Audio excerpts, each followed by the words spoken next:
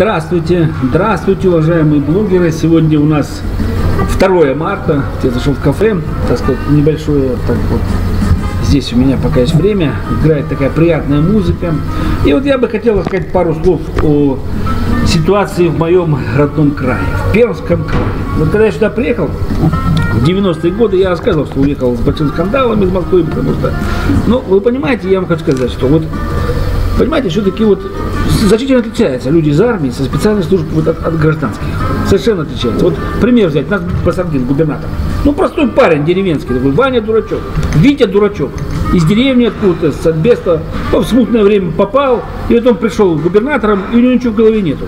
Вообще не понимает, что происходит. Это такой, знаете, кисель. Ну, в этом плане Черкунов, например, отличается. Он более подвижен. Да, он, так сказать, либерал и концепция, которую он предлагает, она совершенно э, была, не воспринималась краем, населением, большинству населения, но она была. Чтобы зайти с ума, говорят великие, его надо, по крайней мере, иметь, чтобы было с чего сходить. Вот есть люди, которым это не грозит. Вот в этом плане у Черкунова было видение, свое видение развития края, своя концепция. Она глупая была, она не включала в себя эту концепцию понимания, так сказать, исторического пути России великой, то есть 70 лет той власти, которая была и так далее. Но она была. Была. Почему не получилось? Трудно сказать, всего мы не знаем. Но тем не менее, какие-то выводы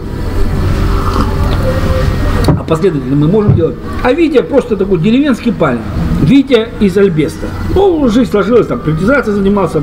Если бы власть поменялась, его посадили пожизненно вместе с Чубайсом, с этой командой и так далее. Ну, мужику повезло, он стал министром, там посадили его по ново, и снова повезло, он стал губернатором. И он, так сказать, пришел, и он уже два года, он не знает, что, что делать. Ну, сидит, он команду дадут, вот, знаете, вот, как это, первые секретари были обкомов КПСС, да, они тоже не понимали, что происходит. Они не понимали, они, то есть, ну, ну, у нас был хороший мужик, был Коноплев, прекрасный мужик был, очень порядочный, так, совестный. Ну, у него база образования была, какой техникум авиационный. Ну, что он мог понимать происходящее, так сказать, в политической системе страны. Ничего не мог понимать. Ему рассказывал там и Ильичев, идеолог, там, или Суслов. И он, так сказать, повторял шаг влево. Ну, а так, в принципе, человек был очень неплохой.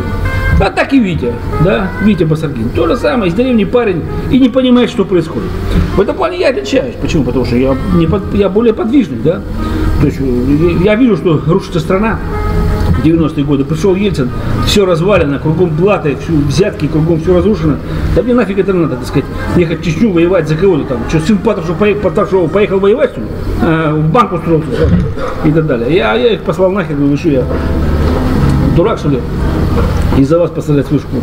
И, так сказать, послал их на и ушел сюда. И уже через год знала вся страна.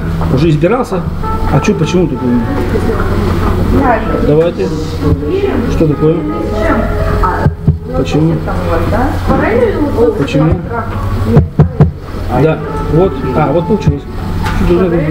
Хандрит эта аппаратура. Ну вот так получше, да. Вот, и вот. Ну и в этом плане я предлагал Вите Басардину. Витя, предложи мне пост вице-премьера. Вице-премьер правительства, и рейтинг твой поднимется сразу на 30-20 пунктов. А ему, ему это не надо. Почему? Потому что выборов нет, судебной системы нет, ничего нет, ему хорошо, кайфово, а прикажут он сделать, не прикажут не сделать. Вот так же как КПСС. Вот так же они проспали реформу еще в 60-е годы, 70-е, когда Косыгин начинал эти реформы, 10% рост экономики давал. Кстати, при Брежневе было 6%. Третья экономика в мире, пятая 6%. Ему нужно было просто начать политическую реформу. Но он не хотел, ему скучно было, он говорил, потом, потом, так и Витя. Вот он потом, потом, и чем Витя закончишь, вот увидишь, чем закончишь.